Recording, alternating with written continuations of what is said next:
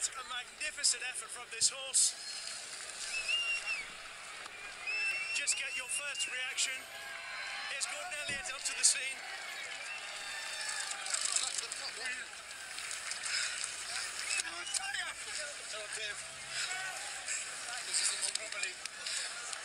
Just get your reaction, Davy, on creating history here at Aintree on this little hero. I, I can't believe it.